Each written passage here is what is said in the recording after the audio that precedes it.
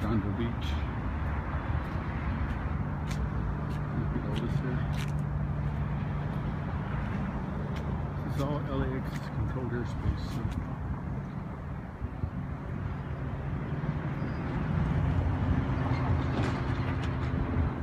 Kinda wonder how they get